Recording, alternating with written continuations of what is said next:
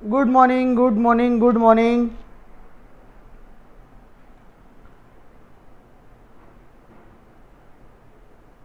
good morning guys good morning आवाज़ आ रही है क्या मेरी? Hello hello hello hello good morning good morning चलो आ गई आवाज़ आ गई। चलिए। क्या हाल है भाई सब लोगों के? Good morning good morning no voice आ गई आ गई वॉइस आ गई भाई। नो no वॉइस नहीं है अभी तो। आ गई वॉइस गुड मॉर्निंग ओहो। सानी का आप एक एक मिनट का हिसाब रखती हो? टू लेट अरे, मैं तो कब से दे रही हूँ? चालू होने में टाइम लग जाता है कई बार। कुछ नहीं कर सकते उसका।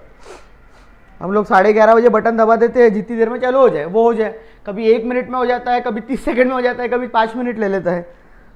यूट्यूब है भाई, हम कुछ नहीं कर सकते उसका। ओह good morning good morning good morning भाई, सब लोगों को। अरे, इतने सारे विरोधी, इतने विरोधी।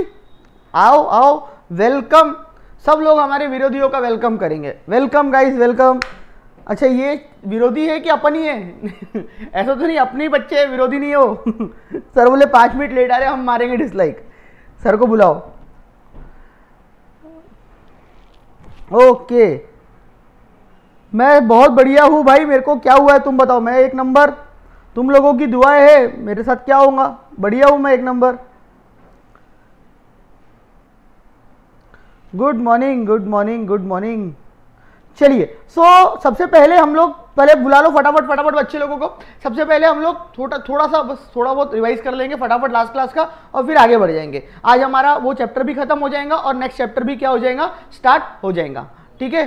ओके क्योंकि अब यहाँ पे हमारे पास दस दिन है दस दिन के अंदर हमारे को बहुत डीप में जाते हुए भी पढ़ना है और सारी चीज़ें करना है। तो उसके बाद हम लोग लीगल अफेयर्स क्या कर देंगे? स्टार्ट कर देंगे। ठीक है? तो उसका डायरेक्टली और लीगल अफेयर्स में कुछ चेंजेस भी हुए हैं जजेस की रिगार्डिंग वो मैं आप लोगों को एक बार पहले सुप्रीम कोर्ट और हाई कोर्ट के जजेस पढ़ा दूँगा। फिर उसके बाद मैं सारे चेंजेस भी आप लोगों को लीगल अफेयर्स में, यही क्लास में क्या करूँगा? बताऊँगा। ओके ऑल ओवर इंडिया में ब्रांचेस है। सी एस कार्ड की भाई सी एस कार्ड हर जगह है। इवन कई बार तो दुबई वगैरह फॉरेन भी जाता है। बच्चे वहाँ की भी लेते हैं कई बार। तो इंटरनेशनल भी हम लोग तो उसमें क्या है? ऐसी मस्ती कर रहा हूँ। चलिए सो so, सबसे पहले लास्ट क्लास में हम लोगों को याद होगा। ध्यान देंगे प्लीज़ अब बातें कम मैं चैट बंद कर रहा हूँ। ठीक है चैट में अब ज़्यादा टाइम वेस्ट नहीं करेंगे। ठीक है तो ध्यान देंगे भाई साहब। अब लास्ट क्लास का अगर आपको याद होगा एक सेकेंड तो हम लोगों ने वहाँ पे कहाँ तक कंप्लीट कर लिए थे चैप्टर का पार्ट हम लोगों ने वहाँ पे अगर आपको याद होगा तो सबसे पहले हम लोगों ने वहाँ पे आरबीआई की जो बातें थी, वो सारी कंप्लीट कर लिए थे। आरबीआई की जो बातें थी, वो सारी हमने क्या कर लिए थे? कंप्लीट कर लिए थे। स्क्रीन का पता नहीं शर्ट के कलर की वजह से आज ऐसे ही आएगा। ठीक है? शर्ट के कलर की वजह से स्क्रीन ऐसी दिखेंगी। चलेगा ना? कोई दिक्कत नहीं है।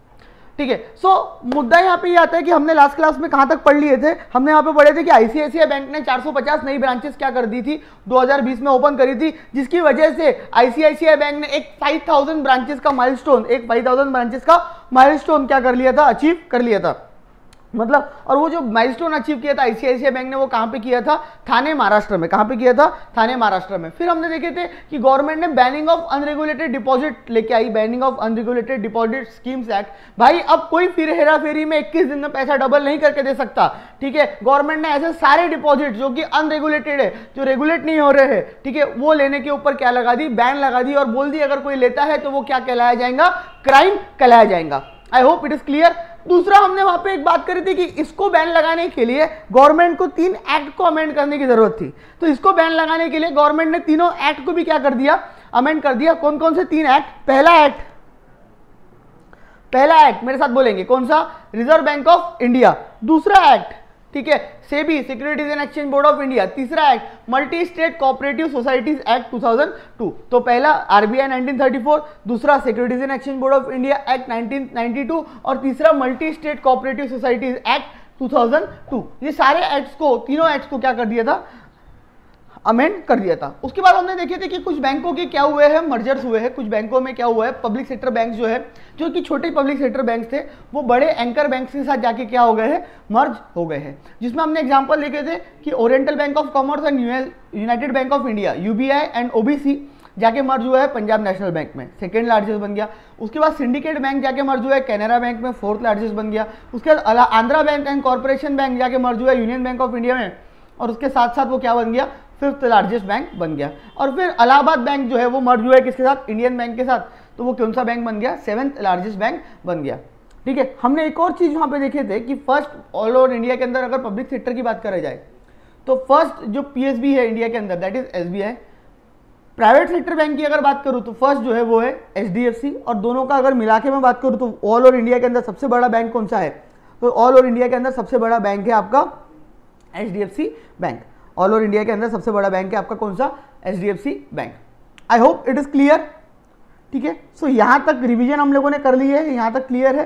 फिर उसके अलावा आपने देखे थे कि जो बॉन्ड्स वगैरह डीपनिंग बॉन्ड मार्केट को बढ़ाने के लिए नॉन रेसिडेंट को भी, जो बाहर के इंडिया के, ठीक है, वो लोगों को भी गवर्नमेंट ने क्या करी थी? सर्टन कैटेगरीज ऑफ़ बॉन्ड में इन्वेस्ट करने की सलाह दी थी। उसके अलावा फॉरेन पोर्टफोलियो फंड एफ़ उसकी लिमिट 9 परसेंट से 15 परसेंट गवर्नमेंट ने क्या कर दी थी? बढ़ा के कर दी थी।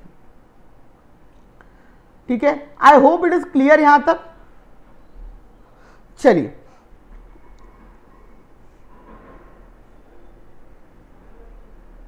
ठीक है? I hope it is clear यहाँ तक। चलिए। सो so, अब मैं आ जाता हूँ इसके ये चैप्टर के आखिरी पार्ट पे। दैट इज़ कुछ डेवलपमेंट जो कि फाइनेंशियल और स्टॉक मार्केट में हुए थे। ठीक है? और उसके साथ साथ टैक्सेशन में भी कुछ चेंजेस आए थे। ठीक है? उसको मैं आप लोगों को पढ़ाऊँगा। जितना जिस तरीके से मेरे यहाँ पे मार्क मैंने किया हुआ है, उसी तरीके से आप यहाँ पे क्या करेंगे? मार्क करेंगे। ठीक है? मैं मार्क करने में अपना, आपका और मेरा टाइम वेस्ट नहीं करूँगा। ऑलरेडी मार्क्ड है। आप इतनी चीज़ों को मार्क करेंगे, ये इंपॉर्टेंट चीज़ें हैं। ठीक है? अच्छा अब ध्यान से सुनेंगे। सबसे पहला पॉइंट उसके अंदर आता है गवर्नमेंट ने LIC के अंदर डिसइन्वेस्टमेंट करने की बात करी है। ठीक है? ये वन ऑफ़ दी बहुत बड़ी बात आज तक की इंडियन हिस्ट्री में हुई है कि जो LIC है, जो कि सबसे ज़्यादा कैश रिच कंपनी है। कैश रिच बोले तो सबसे ज़्यादा पैसा उसके पास है, सबसे ज़्यादा प्रॉफिट वो कंपनी कमाती है, ठीक है? बहुत बढ़िया काम वो क्या हो रहा है, करती है। तो गवर्नमेंट ने वहाँ पे क्या बोली? गवर्नमेंट ने बोली कि हमको ऐसा लगता है कि एलआईसी को हमारे पैसे की ज़रूरत अभी कुछ है नहीं। मतलब करेक्ट सेंस में बोल रहा हूँ, ठीक है सरकाजम में नहीं बोल रहा हूँ करेक्ट सेंस में बोल रहा हूँ। गवर्नमेंट ने बोली कि एलआईसी के अंदर अब हमारा पैसा जो पड़ा है ना, उसको हम वहाँ से क्या कर लेते हैं? बाहर कर लेते हैं। मतलब जो भी इन्वेस्टमेंट एलआईसी के अंदर गवर्नमेंट का है, उस इन्वेस्टमेंट को डिस इन्वेस्ट कर लेते हैं एज इन वो पैसे को हम क्या कर लेते हैं? बाहर निकाल लेते हैं। That is called as disinvestment in LIC that is called as what disinvestment in LIC यानी गवर्नमेंट बात कर रही है कि जो एलआईसी का पैसा गवर्नमेंट ने सॉरी एलआईसी के अंदर जो गवर्नमेंट की होल्डिंग्स है गवर्नमेंट ने जो पैसा लगाई है, उसको वो वहाँ से क्या करने की बात कर रही है? डिसइन्वेस्ट करने की बात कर रही है। तो बट ऑब्वियस ही बात है कि गवर्नमेंट जब अपना पैसा वहाँ से डिसइन्वेस्ट करेंगी तो गवर्नमेंट की जो होल्डिंग्स है वो कौन खरीदेगा? तो गवर्नमेंट ने बोली कि उसके लिए जो एलआईसी है, वो first time in the history of India first time LIC क्या लेके आएँगी? आईपीओ मतलब initial public offer basically IPO मतलब वो क्या इशू करेंगी? शेयर्स इशू करेंगी कॉमन पब्लिक के लिए, आम जनता के लिए। है ना वो शेयर्स इशू करेंगी एलआईसी और उसका मतलब ये रहेगा कि जो आम जनता है, वो आम जनता वो शेयर्स को क्या करे? परचेस करे। जो आम जनता है, वो शेयर्स को क्या करे? खरीदे। समझ में आई बात? तो भाई, मैं अगर आपको बताऊँ तो आने वाले मार्च के आसपास इसका आईपीओ आने वाला है। आने वाले मार्च महीने में LIC का क्या आने वाला है? आईपीओ आने वाला है। और ये आज तक का सबसे खतरनाक आईपीओ आने वाला है मतलब जिसको मिल गया उसकी किस्मत खुल गई। एक्चुअली में LIC जो है भाई, सबसे बड़ी, आज की तारीख में एलआईसी जो है वो सबसे बड़ी क्या है? कंपनी है इंडिया के अंदर। क्लियर एक बार और बता रहा हूँ। डिसइन्वेस्टमेंट का मतलब होता है गवर्नमेंट ने जो अपना पैसा गवर्नमेंट की जो होल्डिंग्स है गवर्नमेंट का जो पैसा अपना कहाँ पे लगा के रखी है? LIC में लगा के रखी है। वो पैसे को गवर्नमेंट अब वहाँ से क्या कर लेंगी? बाहर कर लेंगी, पैसा बाहर निकाल लेंगी।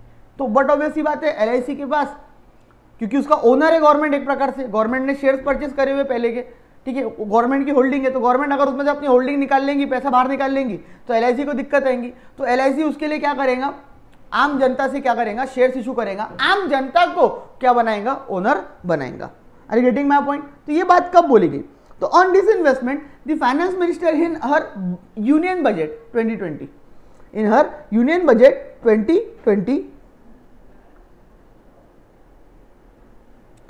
ठीक है? उनने अपनी स्पीच में बोला था कि government a self of part of holding मतलब L I C by way of initial public offer मतलब उनने स्पीच में क्लियर करा था कि गवर्नमेंट क्या यूज़ करने वाली है? अपनी होल्डिंग सेल करने वाली है, ठीक है? Part of the holding government अपनी सेल करने वाली है, और उसके लिए एल क्या करेंगी? आईपीओ लेके आएँगी. She mention that the listing of companies on stock exchange, discipline a company and provides access to the financial market unlocks its value. मतलब उन्हें ये बोला था कि भाई, इससे ये फ़ायदा होता है कि जब भी कोई कंपनी स्टॉक मार्केट में शेयर बाज़ार में लिस्ट होती है, ठीक है तो उसकी वजह से उसके अंदर डिसिप्लिन बहुत ज़्यादा आ जाता है क्योंकि वहाँ पे बहुत ज़्यादा क्या रहते हैं क्या बोलते रिक्वायरमेंट्स रहती है और उसके साथ साथ फाइनेंशियल मार्केट को भी उसका मिल जाता है एक्सेस मिल जाता है और कंपनी अपनी जो वैल्यू है, उसको क्या करती है अनलॉक करती है। कंपनी को मालूम पड़ता है कि वो कितनी वैल्यूएशन पे काम कर रही है, उसकी क्या वैल्यू है आज की तारीख में। It also gives opportunity to retail investors to participate in the wealth so created इतने सालों की जो आज संपत्ति एलआईसी की क्रिएटेड है, उसके अंदर आप, मैं, हम, आम जनता भी क्या कर सकती है? पार्टिसिपेट कर सकती है। ये उन्होंने अपनी स्पीच के अंदर बोला था। हमको याद रखने के लिए इसमें यह है कि LIC के अंदर से गवर्नमेंट अपना पैसा डिसइन्वेस्ट कर रही है। डिसइन्वेस्टमेंट जो हो रहा है एलआईसी के अंदर ठीक है, वो थ्रू इनिशियल पब्लिक ऑफ़र हो रहा है, वापस से। क्या याद रखना है? एलआईसी के अंदर गवर्नमेंट डिसइन्वेस्टमेंट कर रही है और जो डिसइन्वेस्टमेंट हो रहा है, वो काय के थ्रू हो रहा है? इनिशियल पब्लिक ऑफ़र के थ्रू हो रहा है। I hope it is clear sir हम भी ले सकते हैं शेयर बच्चे पूछ रहे हैं। हाँ बिल्कुल ले सकते हो। क्यों नहीं ले सकते हो? सभी ले पाएँगे। कब आने वाला है? मार्च के आसपास आएगा। सबको अप्लाई करना पड़ेगा, जिसकी किस्मत में रहेगा, उसको मिलेगा। ये फैक्ट है। ठीक है, वो आईपीओ जो होता है, क्योंकि बहुत लोग अप्लाई करते हैं तो लॉटरी सिस्टम पे होता है, ठीक है?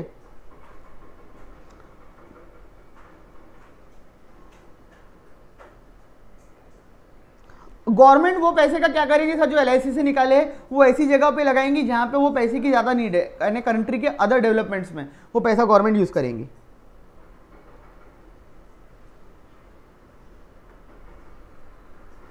हाँ अब शेयर्स इशू क्या होता है? ये सारी चीज़ें मेरे हिसाब से आपको कंपनी लॉ में प्रवीण सर ने बताई होंगी, ठीक है? तो आई डोंट थिंक सो कि इसके बारे में डिस्कशन मेरे को करना चाहिए कि शेयर्स इशू क्या होते हैं आईपीओस क्या होते हैं, ठीक है? वहाँ पे कंपनीज़ एक्ट के अंदर आप लोगों ने ये सारी चीज़ें पढ़े होंगे और मतलब बहुत ज़्यादा बेटर तरीके से आप यहाँ पे पढ़े होंगे। ठीक है? चलिए, आगे बढ़ते हैं।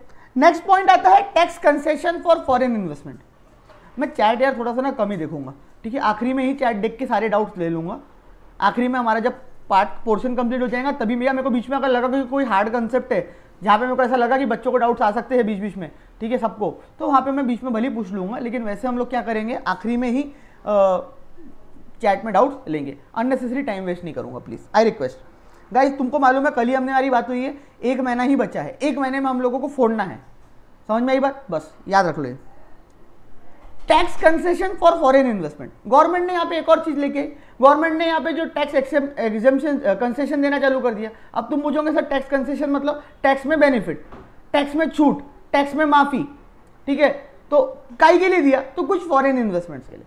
गवर्नमेंट चाहती है कि जो फॉरेन इन्वेस्टर्स है, वो इंडिया में आके अपना पैसा इन्वेस्ट करे। जितना फॉरेन से पैसा इंडिया के अंदर आएगा तो ऑटोमेटिकली इंडिया के अंदर जो डेवलपमेंट है ठीक है? इंडिया की जो ग्रोथ है, वो बहुत स्पीड में क्या होंगी? बढ़ेंगी और इंडिया के अंदर डेवलपमेंट भी बहुत स्पीड में क्या होगा? बढ़ेगा। अब फॉरेन इन्वेस्टर्स को लुभाना तो पड़ेगा ना उसके लिए। लुभाना पड़ेगा ना। उनको अट्रैक्ट तो करना पड़ेगा ना इंडिया की तरफ़ कि आओ और अपना पैसा इंडिया में इन्वेस्ट करो। तो उसके लिए गवर्नमेंट ने एक स्कीम निकाल दी।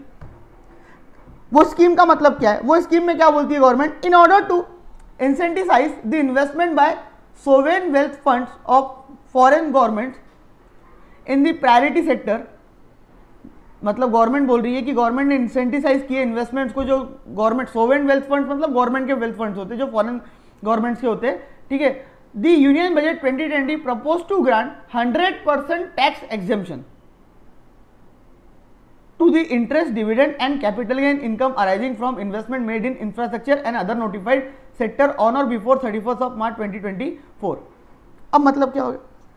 मतलब ये हो गया गवर्नमेंट बोल रही है, कोई भी बंदा अगर इंडिया में अपना पैसा, ये फंड्स के अंदर जो गवर्नमेंट ने फंड्स बोली है, ठीक है सोवेन वेल्थ फंड्स इसके अंदर अपना पैसा इन्वेस्ट करता है। और बेसिकली गवर्नमेंट ने इसके अंदर एक स्पेसिफिक रिक्वायरमेंट बोली notified funds notified sectors basically अलग अलग सेक्टर से रिलेटेड फंड्स होते हैं। तो गवर्नमेंट को अभी ज़्यादा पैसा काय में चाहिए इंफ्रास्ट्रक्चर में। आप देख रहे हैं गवर्नमेंट इंफ्रास्ट्रक्चर के ऊपर बहुत ज़्यादा क्या कर रही है? फोकस कर रही है। सो so, गवर्नमेंट ने क्लियर एक बात बोल दी है कि इंफ्रास्ट्रक्चर के अंदर हमको क्या करना है? ज़्यादा से ज़्यादा फॉरेन का पैसा आना चाहिए ताकि हमारी कंट्री के अंदर हम इंफ्रास्ट्रक्चर को क्या कर सके डेवलप कर सके। तो गवर्नमेंट ने क्लियर बात बोल दी कि ये फॉरेन इन्वेस्टर्स अगर ये अपना पैसा यहाँ पे इन्वेस्ट करते हैं तो बट ऑब्वियस ही बात है उनको यहाँ से कुछ इंटरेस्ट मिलेगा या उनको कुछ डिविडेंड मिलेगा। बट ऑब्वियस ही बात है ना इंटरेस्ट मिलेगा या डिविडेंड मिलेगा वो फंड्स के ऊपर जो कि उनकी कमाई होंगी। और अगर वो उनकी कमाई होंगी तो बट ऑब्वियस ही बात है हमारी कंट्री के अंदर जो भी बंदा कमाई करता है चाहे वो हमारी कंट्री का हो या कंट्री के बाहर का हो और हमारी कंट्री की वजह से वो पैसा कमाता है या हमारी कंट्री में वो को, कोई भी पैसा कमाता है पैसा अर्न करता है ठीक है? तो उसके ऊपर उसको इनकम के ऊपर उसकी कमाई के ऊपर उसकी इनकम के ऊपर उसको क्या पे करना पड़ता है? टैक्स पे करना पड़ता है जिसको कहा जाता है इनकम टैक्स जिसको क्या कहा जाता है? इनकम टैक्स तो उसको अपनी कमाई के ऊपर क्या पे करना पड़ता है?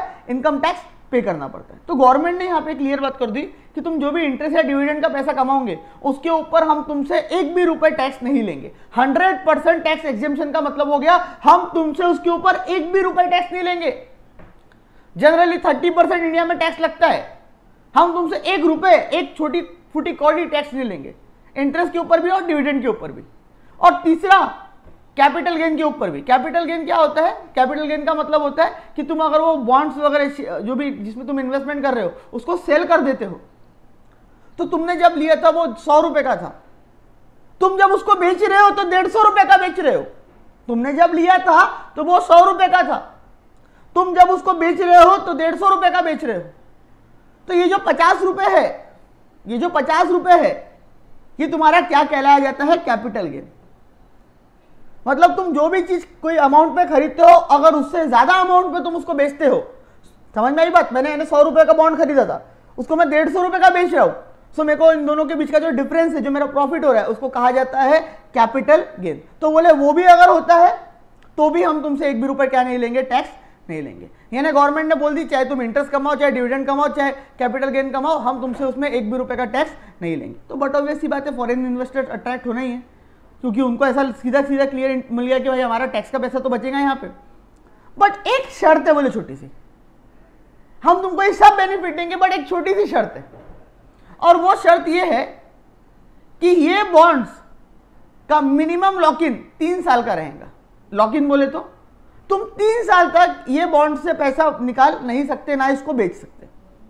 Minimum three years lock in तुम चाह के भी तीन साल तक ये बॉन्ड से पैसा निकाल नहीं सकते और ना इसको क्या कर सकते हैं? सेल कर सकते अगर तुम ऐसा करते हो तो फिर उस केस में ये बेनिफिट्स तुमको नहीं मिलेंगे। उस केस में ये बेनिफिट्स तुमको नहीं मिलेंगे। I hope it is clear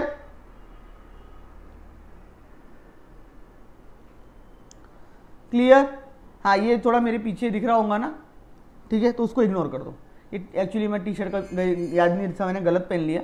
तो ये क्या होता है ना, इसके जैसे मतलब मैं गायब हो जाऊँगा आधा से मुंडी दिखेंगी मेरी। तो वो थोड़ा सा मैंने सेटिंग कम की हुई है मेरी, इसलिए। ठीक है? I hope it is clear मैंने कल भी गाइज़ एक चीज़ आप लोगों को समझाई, आज फिर से वो चीज़ समझा रहा हूँ। ठीक है? मेरा काम है बोलना बार बार लेकिन मैं समझा दे रहा हूँ। कल भी ये चीज़ मैंने आपको बहुत अच्छे से क्लियर करी थी, कहाँ पे? क्लास में भी, और शाम को जो हमारा सेशन हुआ था, वहाँ पे भी। क्या? कि भाई, पढ़ाई पे ध्यान दे दो।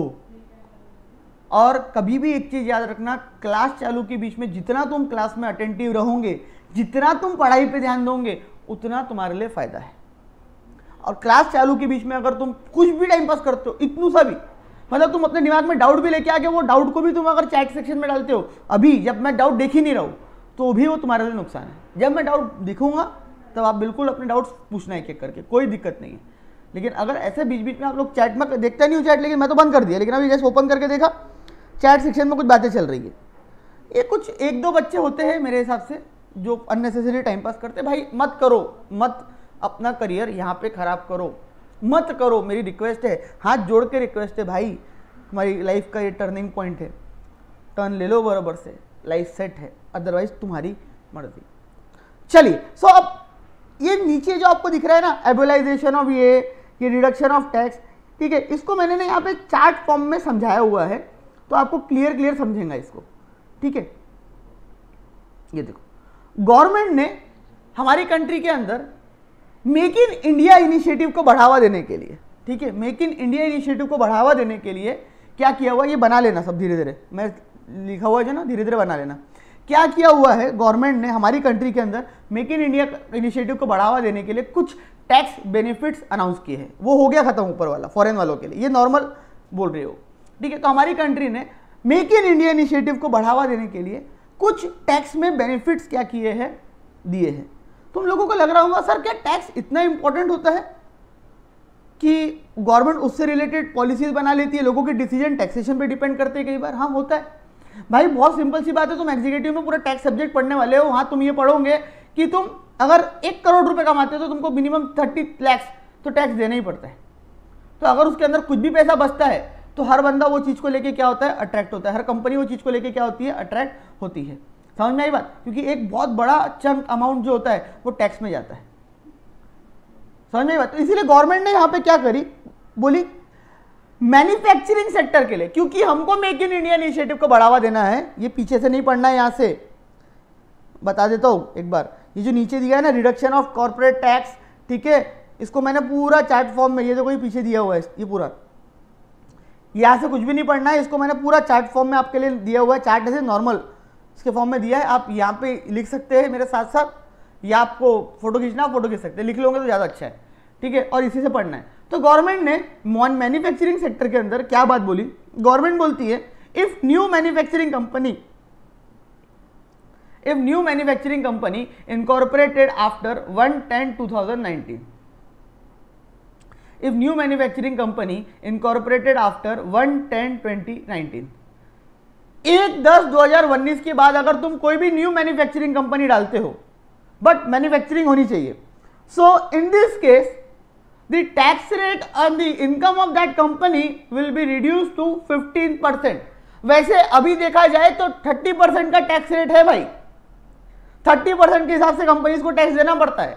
कुछ बेनिफिट है, वो अलग चीज़ है, पच्चीस पच्चीस परसेंट लेकिन जनरल रेट ऑफ़ टैक्स जो है अच्छी तारीख में, वो कितना है? थर्टी परसेंट तो गवर्नमेंट बोलती है कि अगर तुम नई मैन्युफैक्चरिंग कंपनी डालते हो but it should be new manufacturing company on और after one ten twenty nineteen तो उस केस में हम तुमको सिर्फ़ और सिर्फ़ पंद्रह परसेंट के टैक्स ब्रैकेट में रखेंगे। मतलब तुमने जो भी अमाउंट कमाया, उसके ऊपर तुमको पंद्रह परसेंट का क्या देना है? सिर्फ़ टैक्स देना है। Only and only fifteen percent का तुमको वहाँ पे क्या पे करना है? टैक्स पे करना है उसके ऊपर तुमको एक भी रुपए का टैक्स पे करने की ज़रूरत नहीं है। बट कंडीशन इज़ सिंपल कि वन टेन ट्वेंटी नाइनटीन के बाद वो कंपनी इनकॉर्पोरेट होनी चाहिए and that should be new manufacturing company and ये क्यों लाया गया? To motivate make in India initiative ज़्यादा से ज़्यादा लोग इंडिया में अपना क्या करें मैन्युफैक्चरिंग कंपनी खोले और ज़्यादा से ज़्यादा माल इंडिया में क्या करें, बनाए। तो इस तरीके से गवर्नमेंट ने बहुत क्लियर यहाँ पे इंटेंशन के साथ बात बोली है।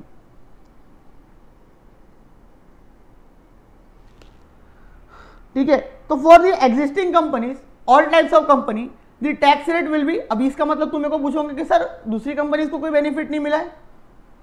दूसरी कंपनीज़ को कोई बेनिफिट नहीं है? उनको थर्टी परसेंट ही पे करना पड़ेगा। नहीं, उसके अंदर भी गवर्नमेंट ने एक बात बोली है कि जो एग्जिस्टिंग कंपनीज़ है, यानी जो already one ten twenty nineteen के पहले बन चुकी है। अच्छा सर, वो मैन्युफैक्चरिंग नहीं विदाउट मैन्युफैक्चरिंग भी होंगी तो भी चलेगा। मतलब एनी यहाँ पे एक चीज़ आपको क्लियर कर दे रहा हूँ। Any type of company, चाहे वो मैन्युफैक्चरिंग हो, चाहे वो ट्रेडिंग कंपनी हो, चाहे वो सर्विस वाली कोई कंपनी हो सर्विस सेक्टर वाली, ठीक है? Any type of company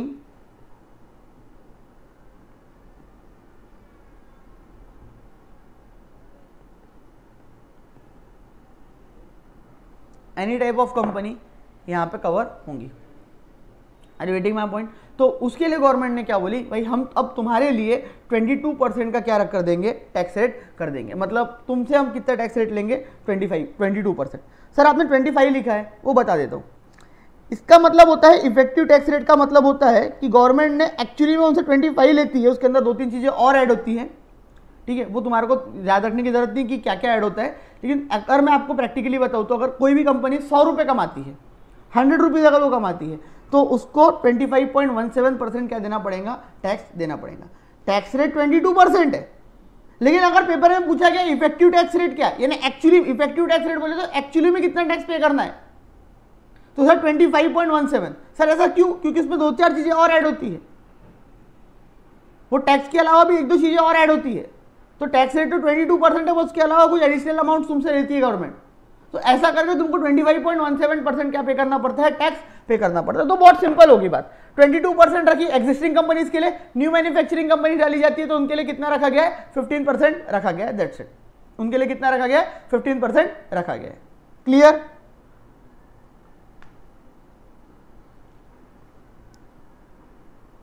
clear okay इसके बाद मैं आता हूँ डिविडेंड डिस्ट्रीब्यूशन टैक्स के ऊपर।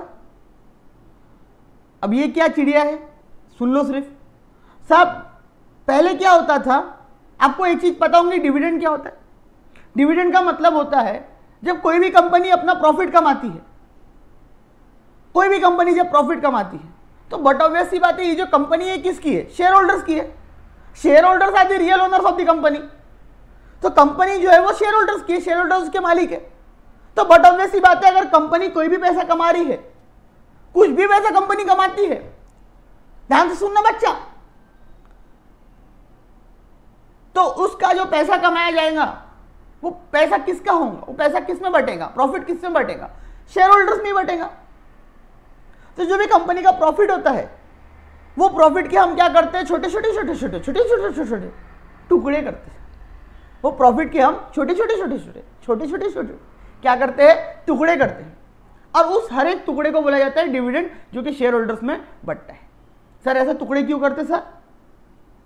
सर, क्योंकि कंपनी का एक मालिक नहीं है ना, बहुत सारे शेयर होल्डर्स है। तो जो प्रॉफिट है, वो अलग अलग शेयर सब शेयर होल्डर्स में डिवाइड होता है। किसने कितना पैसा लगाया, उसके हिसाब से उसको प्रॉफिट मिलेगा। एज इन उसको क्या मिलता है? डिविडेंड पहले क्या होता था यहाँ पे? गवर्नमेंट ने बोला था कि जब भी कंपनी डिविडेंड बांटेंगी अपने शेयर होल्डर्स को डिविडेंड बांटेंगी।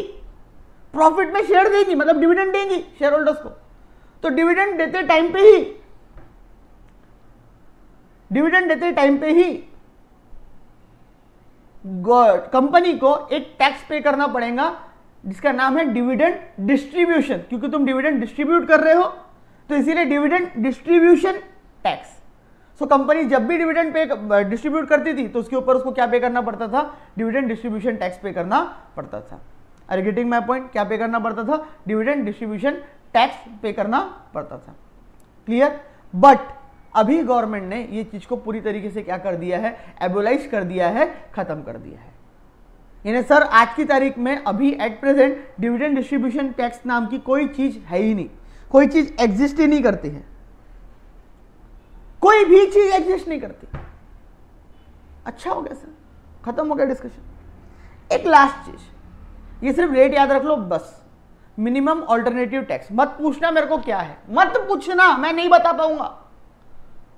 मेरा दिल टूट जाएगा तुम मेरे को पूछोगे और मैं नहीं बता पाऊँगा इसलिए। नालायक को सर आपको पता नहीं इसलिए। अरे नालायक मेरे को पता है। बट ये बहुत अपने आप में एक बहुत बड़ा कंसेप्ट है। शॉर्ट में मैं बस का मीनिंग बता, ज़रूर बताऊँगा आप लोगों को। ठीक है? लेकिन अपने आप में एक बहुत बड़ा कंसेप्ट है जो हम एग्जीक्यूटिव लेवल पे पढ़ेंगे, पूरा चैप्टर बना के सर, तुम फिर तुम बोलोगे, सर एग्जीक्यूटिव में पढ़ेंगे एग्जीक्यूटिव में। अरे मेरे भाई, तुम, यहाँ पे क्या है, तुम्हारे लिए सिर्फ़ इंट्रोडक्शन इंट्रोडक्शन है। इसकी पूरी डिटेलिंग तुमको वहाँ पे ही पढ़ना है, ठीक है? तो खैर मैट बेसिकली कुछ कंपनीज़ के लिए हो मैट जो होता है, वो कंपनीज़ के केस में होता है। और गवर्नमेंट वहाँ पे बोलती कि एक कंपनी देख, सुन ले देखो कम से कम मिनिमम जितना मैट का टैक्स रेट है ना, उतना तो देना ही पड़ेगा इन एनी सिचुएशन चाहे तेरी कमाई हो या ना हो, चाहे तू प्रॉफिट कमाए या ना कमाए, चाहे क्यों ना तू नुकसान क्यों ना करे, हमको उससे कोई लेना देना नहीं है. चाहे तेरी कमाई हो, ना हो, वो हमको कोई मतलब नहीं. तेरे को मिनिमम 15 परसेंट टैक्स पहले से 18.5 परसेंट हुआ करता था, अभी गवर्नमेंट ने उसको 15 कर दिए उतना टैक्स तो पे करना ही पड़ेगा। नाम में मतलब है basically minimum alternative tax minimum मतलब कम से कम ऑल्टरनेटिव टैक्स तो तुमको पे करना पड़ेगा दैट इज़ 15 परसेंट तो अगर पेपर में मैट का रेट तो तुमको सिर्फ़ इतना पूछ सकते हैं कि मैट का रेट क्या है दैट्स इट और कुछ नहीं। तो मैट का रेट क्या है? 15 परसेंट क्लियर तो ये पूरा मैंने यहाँ पे इस तरीके से बना दिया है। आपको चाहिए तो आप फ़ोटो खींच सकते हो।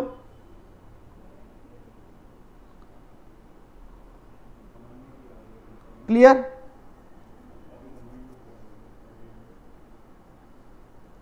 क्लियर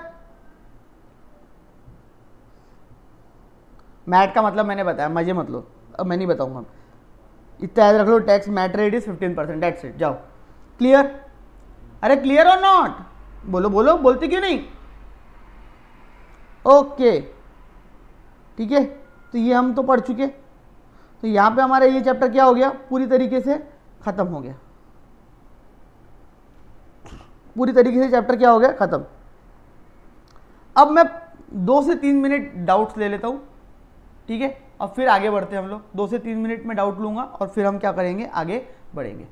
क्लियर एक मिनट जब मैं बोलूँगा डाउट छोड़ो, तभी छोड़ना, अभी रुक जाए एक मिनट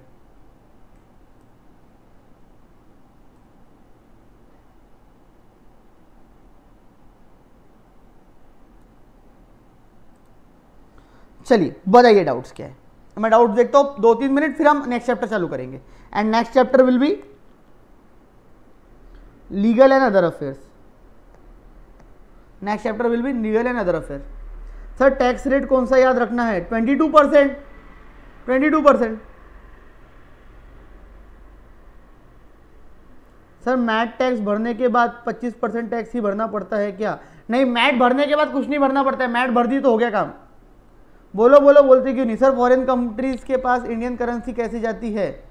भाई, हमारे यहाँ की जो लोग फॉरेन घूमने जाते हैं, वहाँ जाके एक्सचेंज कराते हैं तो वही तरीके से जाती है। और क्या? वन टाइम प्लीज़ अरे यार, तुम भी यार अलग नालायक हो। सर क्वेश्चन करो। इंद्रजीत सिंह को कुछ भी नहीं हो टाइम पास वाले क्वेश्चन आप खुद भी कर सकते हो। उससे ज़्यादा इंपॉर्टेंट वाले क्वेश्चन पुराने वाले क्वेश्चन से ये। ये सिर्फ़ डायरेक्ट डायरेक्ट क्वेश्चन है। ये देखो, कौन सी बैंक ने ऑपरेशन बंद किया था? पीएमसी बैंक ने। ठीक है? कौन सी बैंक ने अपने चार्जेस रिवाइज करे थे? स्टेट बैंक ने। AEPS Aadhaar enabled payment system Indian post bank payment bank का है Nirvik scheme Airtel payment bank तो ये आप खुद भी कर सकते हो, इसमें कुछ नहीं, और ये मैं ऑलरेडी इसमें भी कवर करवाऊँगा। क्या नाम है आपका? जो आपके होंगे। क्विजेस और बाकी एमसीक्यूज में एक साथ लूँगा पूरे। उसमें सब कवर कराऊँगा टेंशन मतलब कंसेप्ट समझ लो अभी।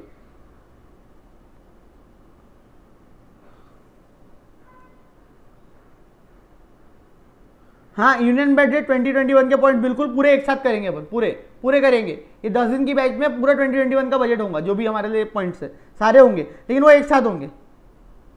सारे चैप्टर के एक साथ कराऊँगा।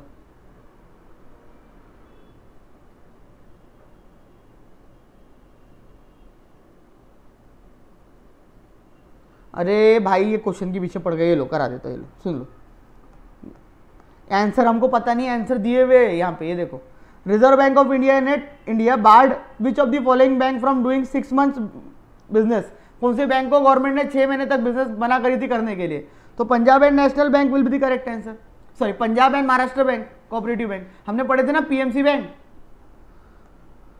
which bank has revise the service charges for deposits cash withdrawal non maintenance in average monthly balance कौन सी बैंक थी? जिन्हें एवरेज मंथली बैलेंस के अंदर चार्जेस रिवाइज करे थे तो स्टेट बैंक ऑफ़ इंडिया वो पूरे चार्जेस की लिस्ट लिखी थी ना, हमने याद नहीं करना था बस उसका नाम पूछे आपको। Who has launch Aadhaar enabled हाँ ये एक दो क्वेश्चन कुछ नए आएँगे, वो आपको याद रखना है। Aadhaar enabled payment system AEPS ये लॉन्च किया था इंडिया पोस्ट पेमेंट बैंक ने। ये लॉन्च किया था किसने? इंडिया पोस्ट पेमेंट बैंक उसने पहली बार आधार अनेबल्ड पेमेंट सिस्टम को क्या किया? लॉन्च किया? मतलब आप अपने आधार नंबर के थ्रू भी क्या कर सकते हो? पेमेंट करा सकते हो। ये निर्विक वाला जो पार्ट है ना ये, सुन लो। ये एक्सपोर्ट क्रेडिट के लिए गवर्नमेंट ने एक निर्विक स्कीम निकाली है, निर्यात ऋण विकास योजना। ठीक है? एक्सपोर्ट क्रेडिट के लिए। ठीक है? स्मॉल एक्सपोर्टर्स के लिए। Which bank has launch Bharosa saving account with this service customer can get personal accident insurance up to five lakhs even with minimum balance of five hundred देखो, ये क्या है? ये एयरटेल ने अपना जब नया नया पेमेंट बैंक लॉन्च किया था ना एयरटेल ने अपना जब नया पेमेंट बैंक लॉन्च किया था तो उस समय उसने कस्टमर्स को लुभाने के लिए कि ज़्यादा से ज़्यादा लोग उसके अंदर अपना सेविंग अकाउंट क्या करें ओपन करें। तो उसने क्या करा? उसने बोला, तुम अपना सेविंग अकाउंट हमारे साथ ओपन करो, हमारे बैंक में ओपन करो।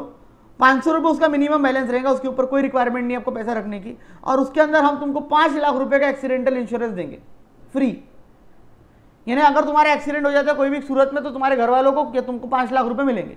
तो तुम्हारे को फ्री एक्सीडेंटल इंश्योरेंस उसने क्या करना प्रोवाइड करना, चालू करा कि ज़्यादा से ज़्यादा लोग उसके साथ क्या हो अट्रैक्ट हो और वहाँ पे क्या करें, अपना अकाउंट ओपन कराए। तो ये दिया था एयरटेल पेमेंट बैंक ने।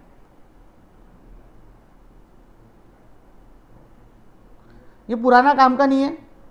आपको याद रखने की ज़रूरत नहीं सिक्स वाला, क्योंकि ट्वेंटी ट्वेंटी की स्टार्टिंग का है।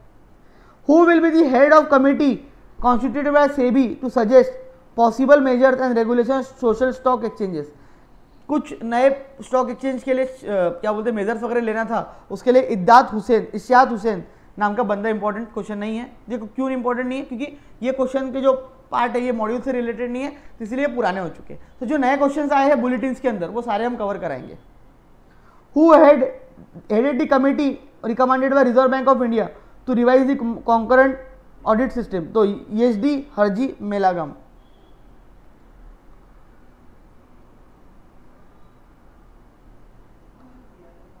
ये बिल्कुल याद नहीं रखना है, क्योंकि ये पुराने क्वेश्चन है। जो मैं गोले कर दे रहा हूँ, वो याद नहीं रखना है, पुराने क्वेश्चन है।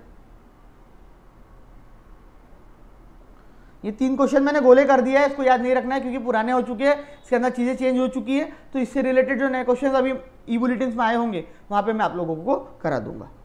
क्लियर चलो डाउट बता दो, फिर आगे बढ़ता हूँ। अरे यार, मैं एक मराठी में बोल चुका हूँ क्या? कौशल बिल्लू, नहीं बिल्लू नहीं सॉरी कौशल, हर्षित। हाँ मैं मराठी में बोल रहा था क्या कौन सी लैंग्वेज में बोल रहा था? पूरा का पूरा बजट मैं कराऊँगा। पूरा का पूरा बजट जितना हमारे लिए रिलेवेंट है बुलेटिन में प्रिंट करके दिया है। ये देख लो, एक दिखा देता हूँ तुम्हारे को। विश्वास नाम की चीज़ नहीं है तुम्हारे पास। किस तरीके से बजट दिया है, वो एक साथ ही कराऊँगा मैं। अलग अलग कराऊँगा तो कुछ समझ में नहीं आएगा।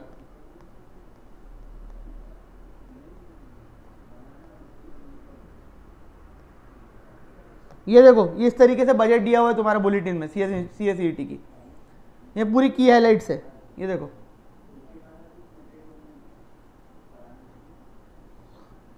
अरे यार। सो वही वही बातें मत पूछो भाई। ऐसा तो नहीं है ना, एक बार बताने के बाद तुम्हारे दिमाग में बैठती नहीं। ऐसी तो कोई सिचुएशन तुम्हारी बनी नहीं है ना अभी तक। ये देखो, ये पूरा एक साथ ई बुलेटिन दिया हुआ बजट पूरा एक साथ। अब मैं अगर इसको पार्ट पार्ट में पढ़ा टुकड़े टुकड़े में तो तुमको क्या समझने वाला है? तो इसीलिए पूरे चैप्टर पढ़ लेते हैं, फिर पूरा बजट भी पढ़ लेंगे। ये देखो, ये दो पेज का बजट है सिर्फ़। पूरा पूरा बजट है ये। मैं नहीं दे रहा हूँ इंस्टीट्यूट दे रहा है। तो ये पूरा पढ़ेंगे ना, क्यों टेंशन ले रहे सबूरी रखो, श्रद्धा रखो। टेन डेज़ की बैच में हंड्रेड एंड वन परसेंट ये पूरा बजट होगा। दैट्स इट चैप्टर के बीच में कराऊँगा, कुछ समझ में नहीं आएगा। पहले नॉलेज ले लो पूरे चैप्टर्स का, उससे रिलेटेड ही चीज़ें होंगी। तो वो फिर समझ में आसानी होंगी तुम लोगों को। बार बार वही वही क्वेश्चन मत पूछो।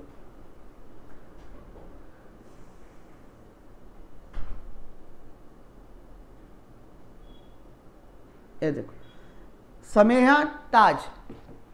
एयरटेल पेमेंट बैंक का बेटा मेरे बच्चा, कोई कंसेप्ट ही नहीं है। करंट अफेयर्स में कोई कंसेप्ट रिलेटेड जो एमसीक्यूज है ना, जो इतनी मॉड्यूल दी थी, पूरी, वो हम पूरी मॉड्यूल पढ़ते हैं।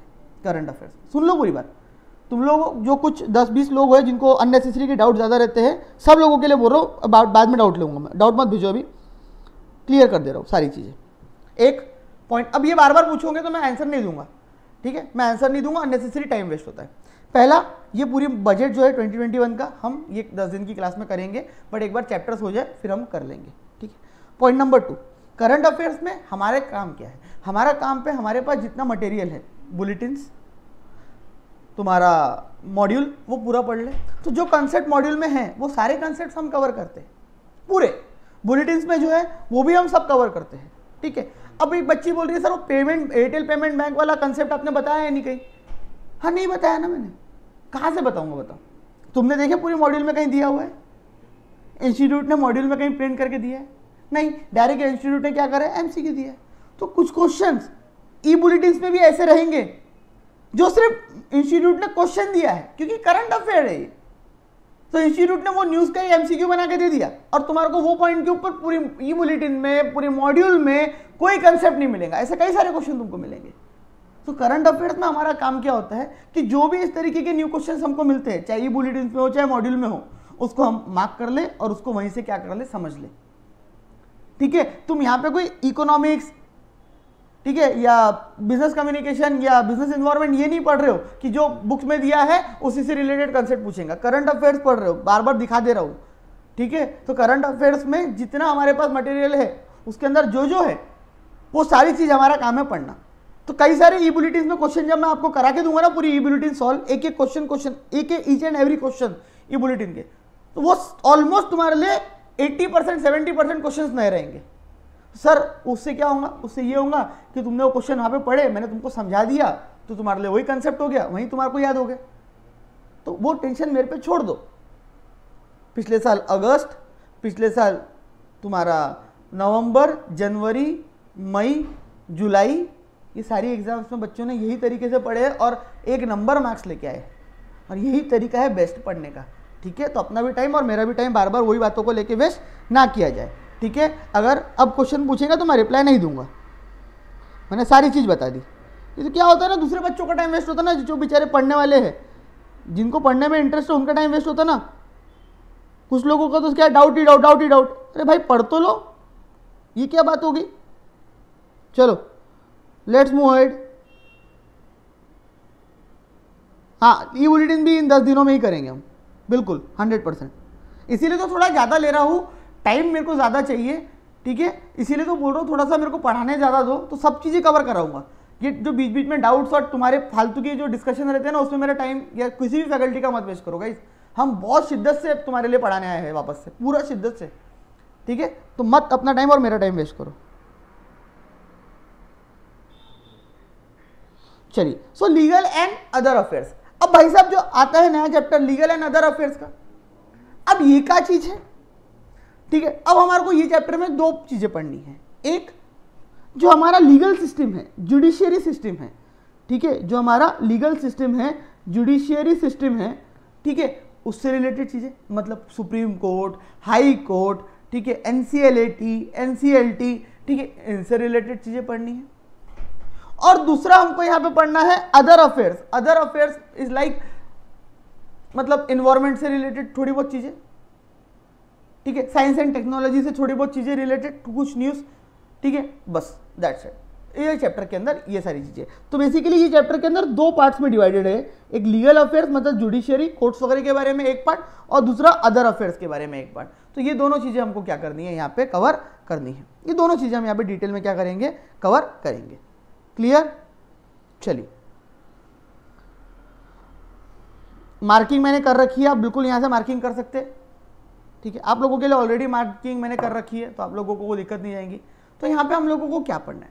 सबसे पहले हम लोगों को यहाँ पे पढ़ना है recent important judgement pass by supreme court high court and tribunals in India एक एक करके हम सब पढ़ेंगे कि सुप्रीम कोर्ट क्या है, वहाँ किस तरीके से वर्किंग होती है हाई कोर्ट क्या है, वहाँ किस तरीके से वर्किंग होती है ट्रिब्यूनल्स क्या है, वहाँ किस तरीके से वर्किंग होती है, ये सारी चीज़ें हम कवर करेंगे। क्लियर तो पहला पॉइंट आता है supreme court is the highest court of highest judicial court in India मतलब सबसे बड़ा, सबसे हाईएस्ट कोर्ट ऑफ़ अपील अगर कंट्री के अंदर कोई है तो वो है सुप्रीम कोर्ट मतलब that is the final court of appeal तो जो सुप्रीम कोर्ट ऑफ़ इंडिया है that is highest judicial court in India final court मतलब उसके ऊपर कुछ नहीं है. अगर उसने कोई डिसीज़न दे दिया, कोई केस के ऊपर उसने डिसीज़न सुना दिया तो वो डिसीज़न को के अगेंस्ट आप कहीं पे भी नहीं जा सकते. मतलब उसके ऊपर आप कहीं पे भी नहीं जा सकते. कुछ लोगों को मन में वहम रहता है कि राष्ट्रपति के पास जाया जा सकता है। इतना आसान नहीं है राष्ट्रपति के पास जाना और हर केस में पॉसिबल नहीं है। तो ये चीज़ अपने दिमाग से बाहर निकाल दो। तो supreme court is highest judicial court in our country and supreme court जो कोर्ट है, उसका जजमेंट गवर्नमेंट को और पूरी कंट्री को मानना ही पड़ता है। तुम्हारे पास कोई और सेकेंड ऑप्शन नहीं है।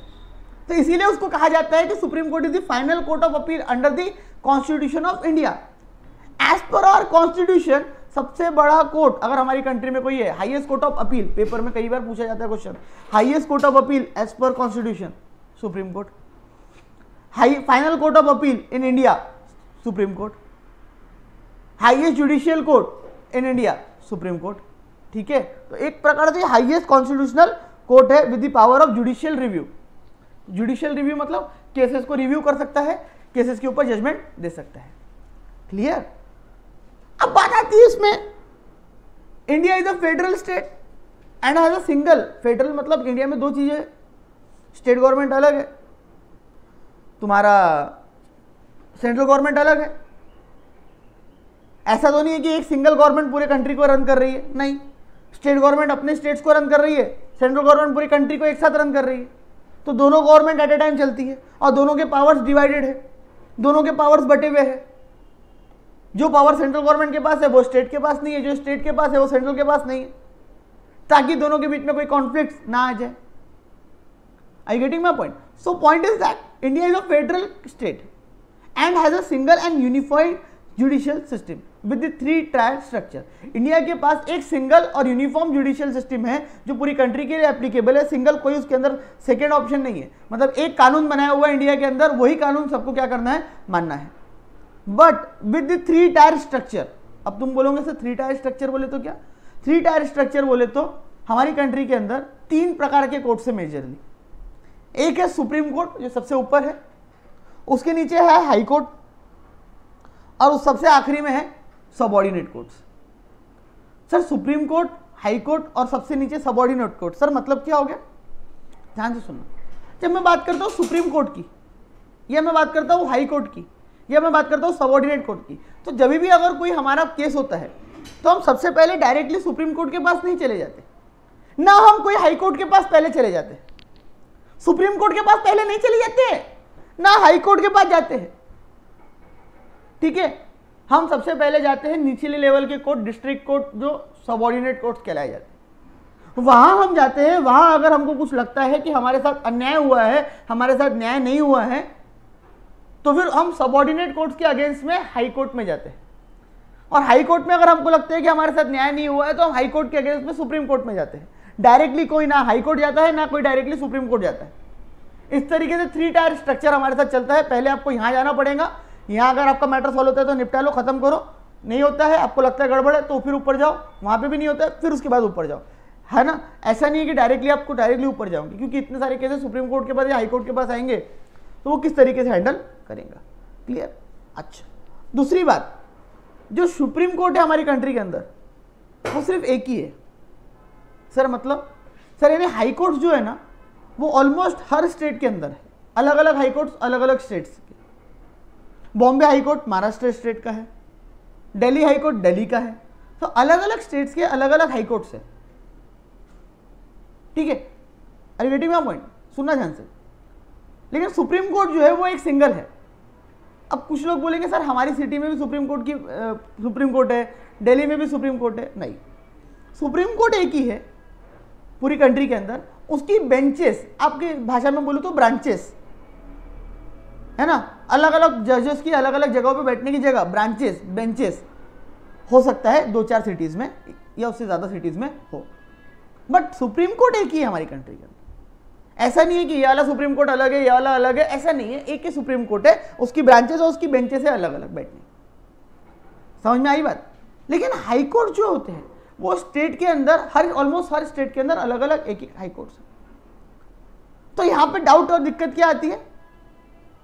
यहाँ पे डाउट ये आता है कि, सर, जैसे आप पूरे की पूरी कंट्री के अंदर supreme court is the highest authority of highest authority तो वैसे ही सर स्टेट के अंदर हाई कोर्ट क्या सबसे बड़ी अथॉरिटी है? आंसर इज़ यस अगर मैं स्टेट लेवल की बात करूँ तो highest court of appeal in a state highest judicial authority final court of appeal in a state in a state अगर क्वेश्चन में बोला गया in a state final judicial authority highest judicial court top judicial authority final court of appeal in a state तो you should write high court not supreme court आपको clear clear पढ़ना पड़ेगा। इन state बोल रहा है या इन कंट्री बोल रहा है? या एज पर कॉन्स्टिट्यूशन बोल रहा है। कॉन्स्टिट्यूशन या कंट्री बोल रहा है तो सबसे बड़ा कोर्ट हाई सुप्रीम कोर्ट है। और स्टेट के लिए सबसे बड़ा कोर्ट हाई कोर्ट है। Are getting my point clear तो अगर हाई कोर्ट ने कोई जजमेंट दिया तो वो पूरी कंट्री के लिए एप्लीकेबल नहीं रहता है। हाई कोर्ट का जजमेंट सिर्फ़ और सिर्फ़ उसकी स्टेट के लिए एप्लीकेबल रहता है। मतलब अगर हाई कोर्ट ने कोई जजमेंट दे दिया हाई कोर्ट ने कोई बात बोल दी तो उसको क्या पूरी कंट्री को मानना पड़ेगा? क्या पूरी कंट्री को मानना ज़रूरी है कंपलसरी है? आंसर इज़ नो सिर्फ़ उसकी स्टेट को मानना कंपलसरी है। उसकी स्टेट के लिए वो जजमेंट एप्लीकेबल सबके लिए उसको कोई लेना देना नहीं। ऐसा आप, वो नहीं बोल सकते कि बॉम्बे हाईकोर्ट ने जो बोला है, वो उत्तर प्रदेश वाले भी माने। नहीं मान सकते मानेंगे। क्यों मानेंगे? वो अलग स्टेट है, ये अलग स्टेट है। बॉम्बे हाईकोर्ट का जुरिस्डिक्शन एरिया दायरा लिमिट सीमाएँ कहाँ तक नहीं है? उत्तर प्रदेश की नहीं है। वो अलग है, ये अलग है। ठीक है? तो इसीलिए यहाँ पे आई थिंक ये क्लियर मैंने किया अभी। ठीक है, चलिए। उसके बाद आता है कॉन्स्टिट्यूशनल प्रोविजंस अब सर, ये क्या है? सुप्रीम कोर्ट किस तरीके से बना? ध्यान से सुनेंगे। तो इंडियन कॉन्स्टिट्यूशन के अंदर अगर मैं आपको बात करूँ तो जो सुप्रीम कोर्ट बनाया है, वो हमारे इंडियन कॉन्स्टिट्यूशन ने बनाया है। सुप्रीम कोर्ट जो बनाया है, वो हमारे इंडियन कॉन्स्टिट्यूशन के अंदर लिखा हुआ है, उसके अंदर बनाने का पावर देखो, कोई भी चीज़, कोई भी कानून, कोई भी अथॉरिटीज हमारी कंट्री के अगर अंदर बनी है तो वो बनी है क्योंकि वो कॉन्स्टिट्यूशन के अंदर लिखा हुआ है, वो कॉन्स्टिट्यूशन के थ्रू ही बनी है। विदाउट कॉन्स्टिट्यूशन कोई भी अथॉरिटी कोई भी चीज़ नहीं बनी है हमारी कंट्री के अंदर। आई बात समझ में? सो बेसिकली इंडियन कॉन्स्टिट्यूशन के अंदर provision of supreme court under part five of the union and chapter six union judiciary आपको सर चैप्टर याद रखने की ज़रूरत वैसे तो नहीं है, याद रख पाए तो रख लो। अच्छा है, वैसे ज़रूरत कम है। ठीक है, बहुत मतलब 90 परसेंट चांस नहीं है 95 परसेंट चांस कि आपको पार्ट या चैप्टर पूछ लेगा, लेकिन एक पाँच या दस परसेंट चांस है। मैं ये भी बिल्कुल बिल्कुल नहीं बोलूँगा कि हंड्रेड परसेंट चांस नहीं है आने का, ऐसा नहीं बोल सकता मैं, पाँच से दस परसेंट है।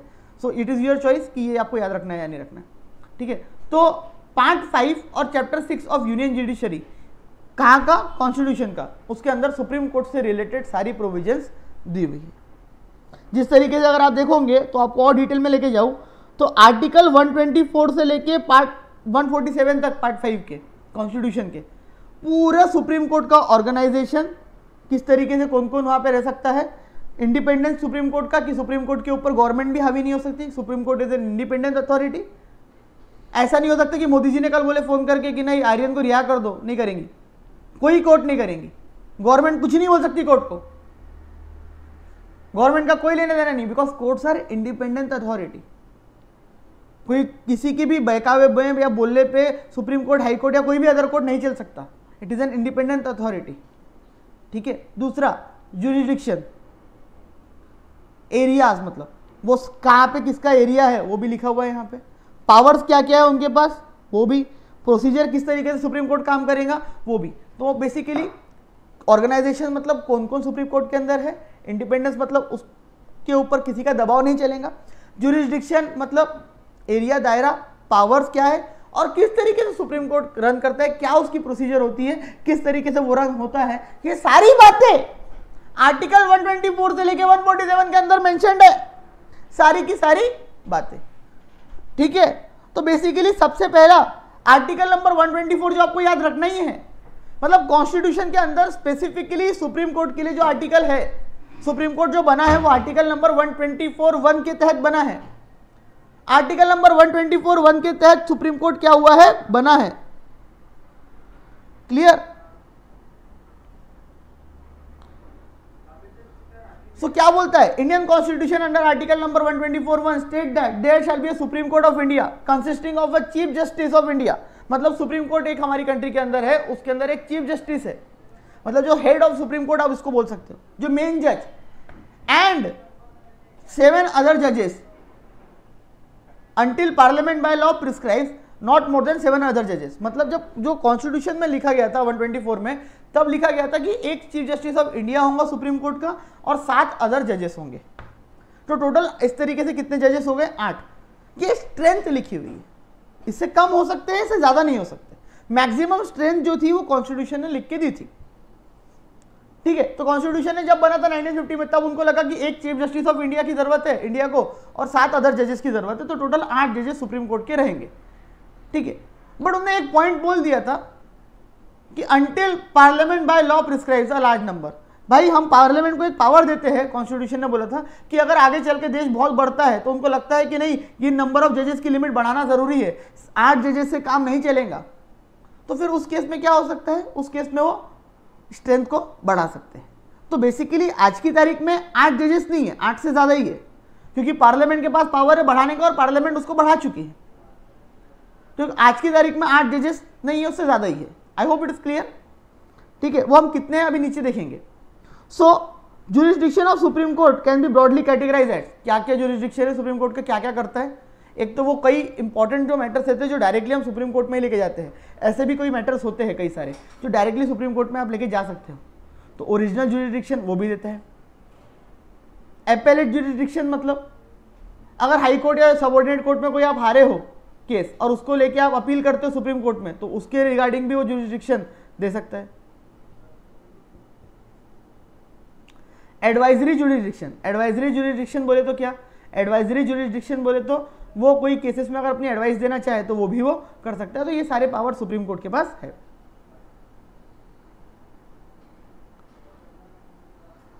देखो आर्टिकल अगर तुम लोगों से याद नहीं होते तो आई रिक्वेस्ट सिर्फ़ 124 आर्टिकल नंबर याद कर लेना, बस। और कोई नहीं नहीं करोगे तो चलेगा पूरा। सिर्फ़ 124 नंबर आर्टिकल याद कर लेना दैट्स इट बट वो याद कर लेना आई रिक्वेस्ट अब सुप्रीम कोर्ट के ऑर्गेनाइजेशन के बारे में बोला है कि किस तरीके से कितना आज की तारीख में सुप्रीम कोर्ट में जजेस है, बाकी चीज़ें हैं।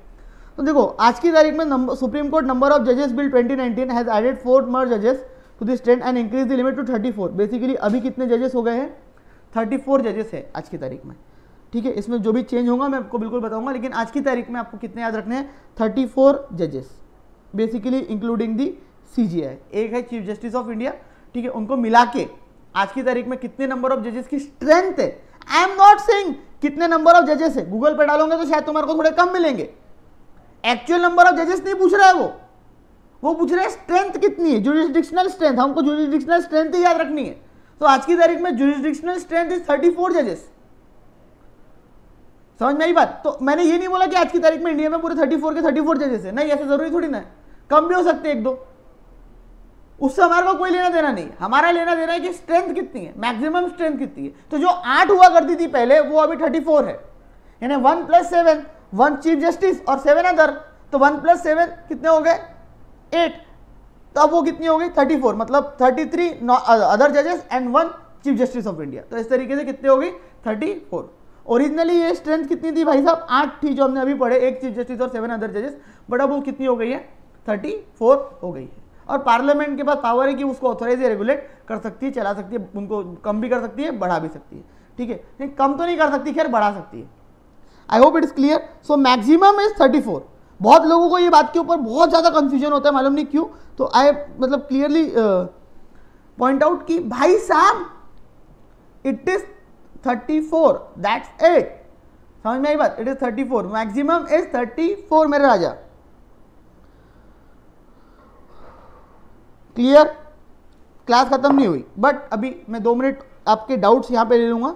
जो भी डाउट्स है अभी आप पूछो। क्लास थोड़ी चलेंगे पंद्रह बीस मिनट, ठीक है? बीच बीच में आऊँगा मैं डाउट्स के लिए जब लगेगा मेरे को। तो यहाँ तक कोई डाउट है तो बताओ, फिर फिर हम आगे बढ़ेंगे। ओके मेरे बच्चा लोग, बोलो बोलो डाउट्स बोलो तुम, जो भी डाउट चलेंगे, कोई दिक्कत नहीं। पर डाउट रिलेटेड टू सब्जेक्ट फालतू डाउट्स नहीं, फालतू दिन बाहर के डाउट्स नहीं। यस कुणाल भाई कुणाल भाई यस बिल्कुल correct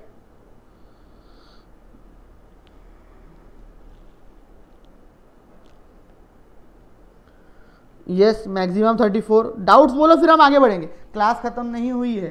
क्लास अभी और चलेंगी। मतलब हम आज का टारगेट हमारा फिक्स है कि हम कम से कम हाई कोर्ट तक तो पढ़ के जाएँगे आज। ठीक है? तो क्लास शायद पंद्रह बीस मिनट और चले। ऑल क्लियर सर ये बता दीजिए कि अगर कभी सुप्रीम कोर्ट कुछ गलत या बायस डिसीज़न ले तो फिर कहाँ पर जाया जा सकता है? कहीं पर नहीं जा सकते, आयुषी? और सुप्रीम कोर्ट ऐसा बायस जजमेंट नहीं लेता है। फिर उसके खिलाफ आप सुप्रीम कोर्ट में ही अपील कर सकते हो, दोबारा। वो कुछ केसेस में पॉसिबल है। शिवांगी गुप्ता, वो करंट वाले, याद नहीं कंफ्यूजन मत क्रिएट करो, शिवांगी। करंट वाले नहीं, हमको याद रखने, जो स्ट्रेंथ है, वही याद रखनी है। करंट वाले मैं बता दूँगा क्योंकि अभी चेंज हुए हैं। थर्टी फोर पेपर में थर्टी फोर एट पहले थे, अभी नहीं है। हाँ बढ़ सकती है थर्टी फोर से आगे स्ट्रेंथ अगर गवर्नमेंट को लगेगा तो पार्लियामेंट उसको और आगे जाके बढ़ाएँगी।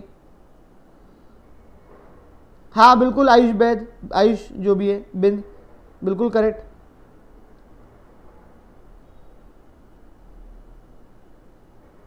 हाँ बिल्कुल वन लाइनर्स हम पूरे मैराथन में कवर करेंगे। इसके मैराथन में हमारे वन लाइनर्स कवर होंगे इसके और बाकी आ, उसके भी क्या बोलते हैं बुलेटिन वगैरह के भी टेंशन मतलब सर, अगर आप हाई कोर्ट तक पढ़ाओगे तो हम भी हाई कोर्ट जाएँगे।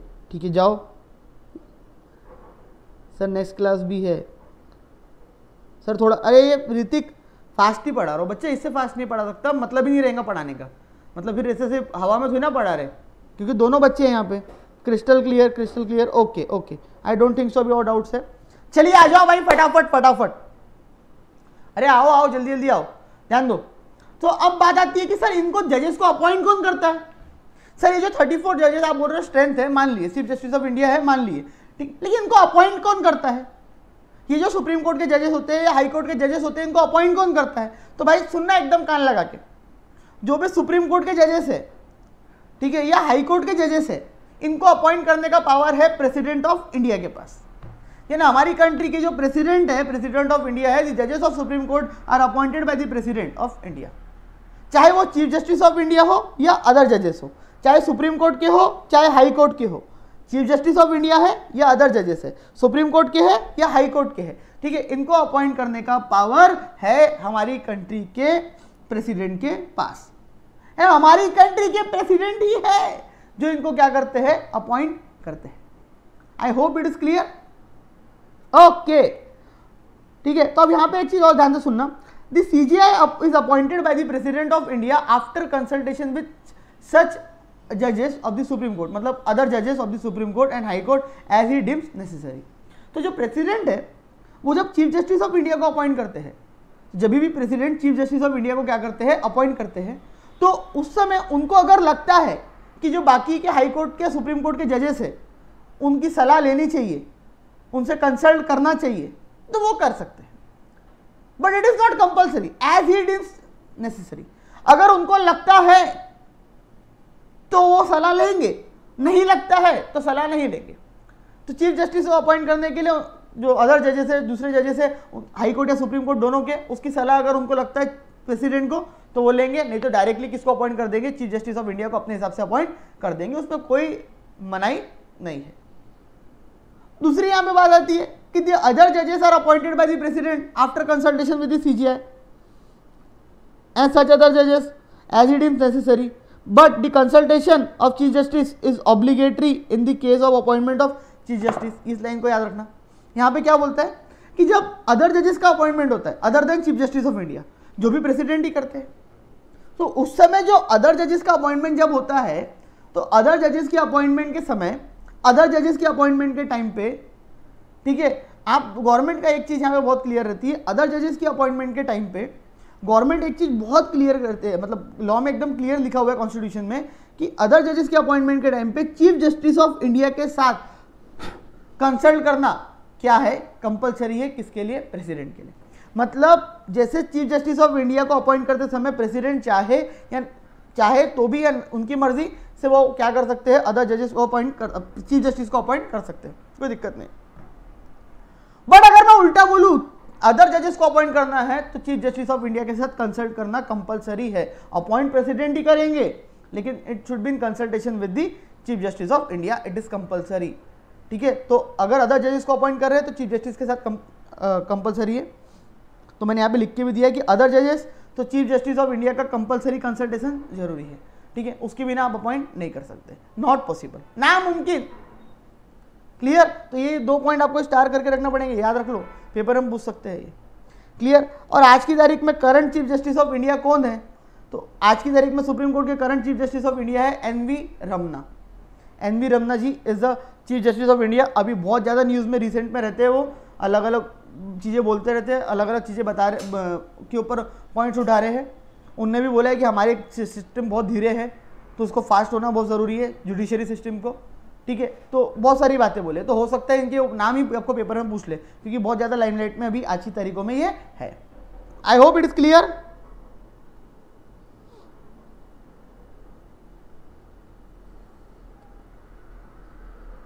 president appoint करने का तरीका पूरा अलग होता है बच्चा, उसका एक प्रोसेस है।